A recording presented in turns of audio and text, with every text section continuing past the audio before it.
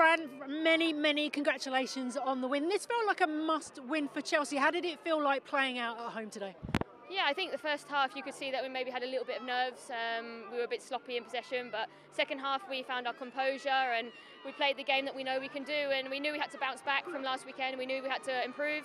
So yeah, I think overall really, really happy with the win and really happy with the second half performance in, in respect. You said you mentioned the word nerves, but I mean Sam Kerr with that chance in the first 15 seconds of the game. Can you really put that down to nerves, or did the manager say, "Get out the blocks quickly"?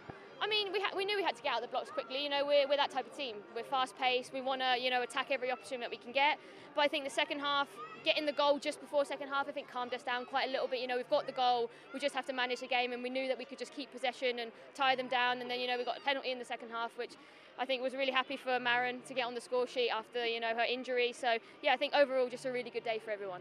But let's talk about you, the goal. It felt like time stopped for a second. It felt like you had all the space in the world. Did it feel like that scoring the goal? Yeah, a little bit. Um, you know, I don't normally like to shoot with my left foot, it's my weaker foot, but I knew I had to take it first time, otherwise, you know, they were going to recover. And for me, I don't care how it goes in the net. As long as it goes in, it could be the crappiest shot I've ever done. But you know, as long as it goes in the back of the net, that's the most important thing.